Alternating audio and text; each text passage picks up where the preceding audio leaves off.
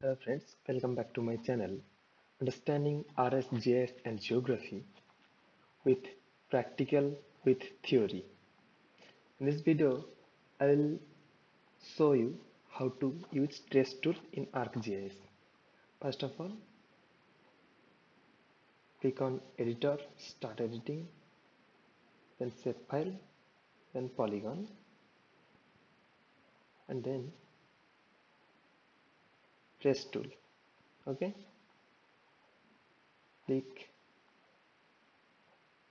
on the edited shape file and trace the common shape file.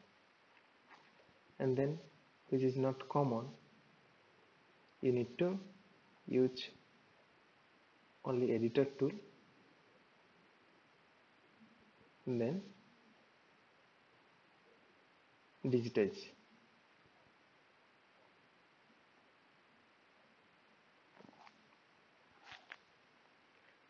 here in this case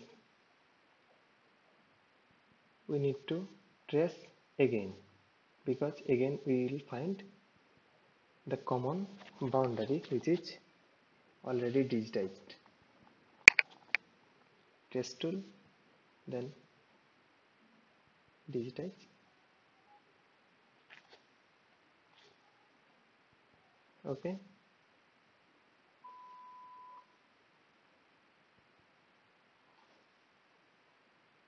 This will be easiest process you can apply in your work.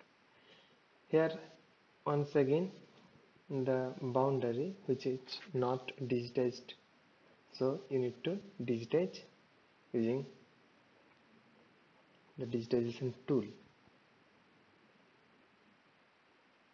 Okay if you are new in this channel please subscribe this channel and click on bell icon for more notification regarding this type of videos. Here once again the common boundary which is not which is already digitized. Okay?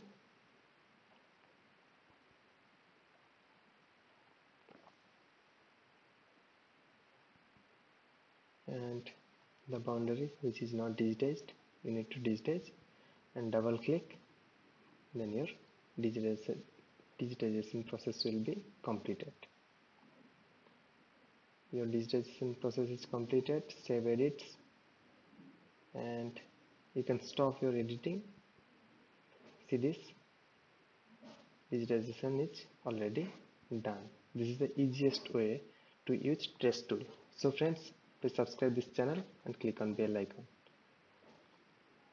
Thank you